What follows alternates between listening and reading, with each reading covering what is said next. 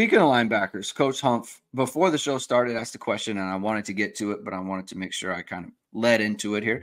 Uh, Coach Humph asking my first two hot takes a few months ago were that Kyngstonn, Kyngstonn uh, or KVA is starting, and the linebackers would be at least as good as last year, if not better. Jamie, are you ready to acknowledge I'm on to something? So, um, I think we've heard. Was it did was was did I like crap all over this thing or before? No, I, I, I think no, I, I think he okay. just I think he I think it was during a show and he oh, okay. he put out there that KVA would start. I mean, and this was, you know, before he before there were any reports. So yeah, yeah I you, you could say he was at the forefront of that stuff, right? I don't think people uh, were. I think it would be hot takey a few months ago to be like, "Hey, KVA starting." I mean, it was a hot take. That's what he's he, he hot take. Yeah. So and and, and I think it would be hot, and I think it would be hot takey to say the linebackers will be better than last year, given the fact that JD Bertrand was there, given the fact that uh Marist was there, right? In addition to guys like Jaylen Sneed,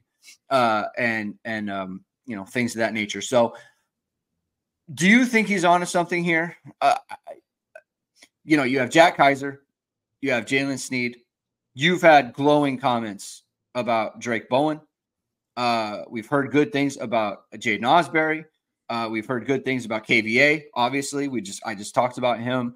Uh, where do you think the linebacker position is, and is there going to be kind of a marrying of the the potential and the individual pieces into like a really good linebacker unit uh, in 2024?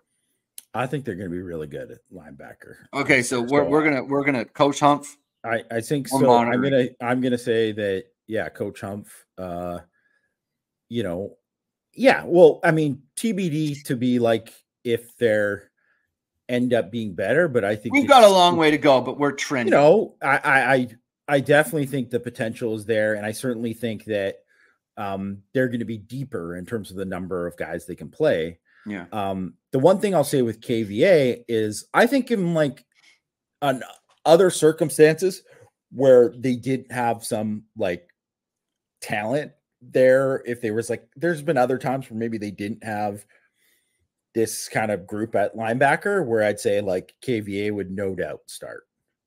Yeah. But the and the fact that you're saying that about a true freshman, like, is pretty insane because yeah. that's when you get into Manti and Jaylon Smith territory.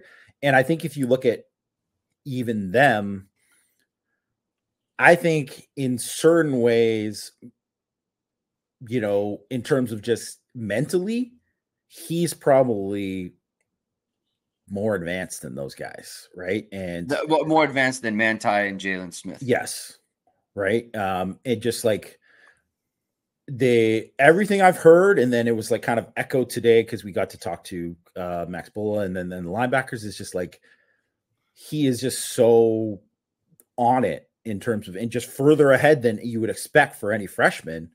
Um, so that just automatically that's just something that puts him at a different level right away because yeah. that's the hardest part for all of these guys because you know that's the one thing with like Jaylen Sneed right now is that he's going into year three and it's his third spring and now's the time that we're finally like oh it, things are starting to click for him and it's like well I mean KVA walked on a campus and it was like you know like he flipped the, the switch was flipped already right before he was he was ready to go right so I think um, but I mean, the one thing that I'll say is that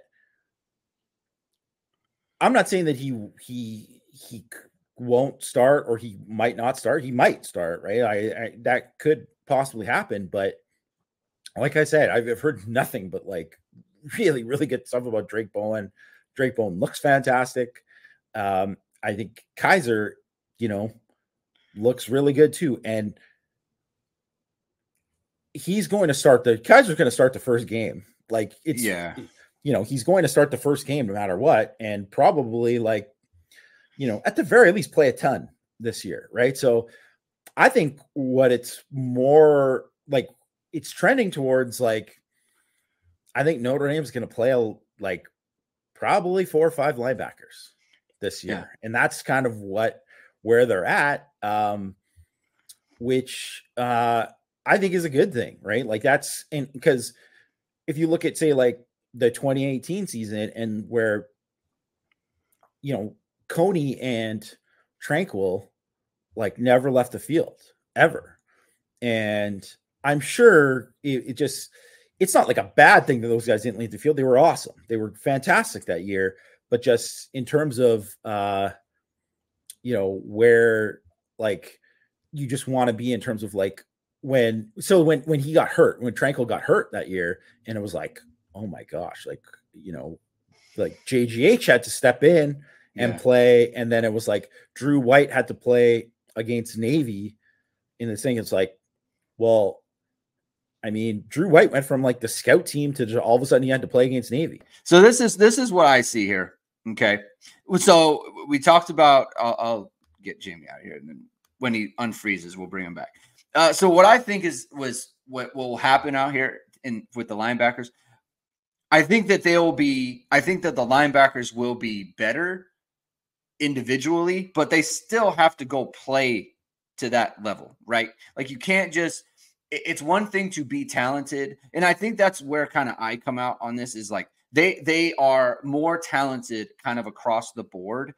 Maybe not better athletes because like Marist and JD Bertrand are like a really good they're really good athletes, but these guys have a much better like pedigree coming from better programs, different programs, and they have um KVA came from Bosco, right? Like Drake Bowen came from it was like a highly, highly rated recruit, right? Whereas that wasn't the case for Marist and JD Bertrand.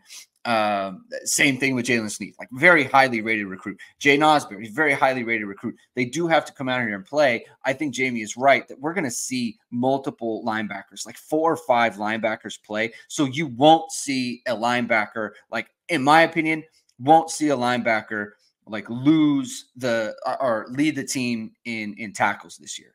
I just don't think that's going to happen, right? And it'll be hard to gauge them from a, a just pure numbers standpoint because they're not because they're I, like is anyone going to have over 500 snaps this year? Right? Like i just don't know that that's going to be a thing. So it's going to be difficult for them to accumulate um numbers. Let's see. Uh jamie says he thinks this is internet so he's going to check on that. So that's kind of where it is. It's going to be hard for them to accumulate numbers. Um let's let me go back to cfb hertz asked the question here uh about do you expect less nickel in favor of three linebacker formations? See, I wouldn't expect that because nickel is such a base piece of what they want to do. And I don't think that they have a linebacker who is capable of bridging the gap between being a linebacker and being kind of that nickel guy who can cover a la JOK. Bring Jamie back in here. Uh, welcome back. Uh, yeah, sorry, I had to I had to hotspot my phone. The internet here is spotty, so sorry. Spotty internet. All right, so we're gonna we're gonna we're gonna keep we're gonna keep it rolling here, Jamie. I don't know if you're able to hear any of that. Um, um uh, so, go ahead. Well, I heard the I heard the tail end of it. Uh, no, I don't expect. Like, I I don't think they're gonna. Maybe slightly less. They're still a nickel team. They're still it, a nickel team. It, it, would have to be like scheme dependent to an opponent. Yes. Um, it would have to be something like that.